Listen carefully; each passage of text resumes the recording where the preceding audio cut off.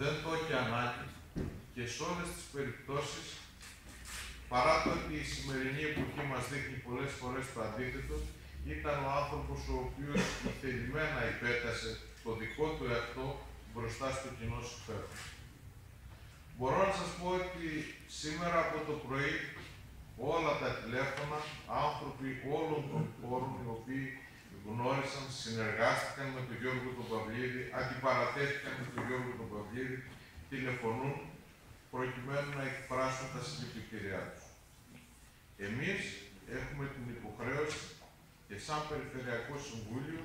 και σαν παρατάξη και σαν διοίκηση της περιφέρειας, αλλά και η παράταξή του, η παράταξη που αυτός δημιούργησε, η Περιφερειακή Αναγέννησης, να συνεχίσουμε την προσπάθεια από το σημείο που την έφερε ο Γιώργος, να μπορέσουμε να υλοποιήσουμε όσα αυτός δρομολόγησε, έτσι ώστε σε κάθε μία περίπτωση να δικαιώνουμε τη δική του προσπάθεια.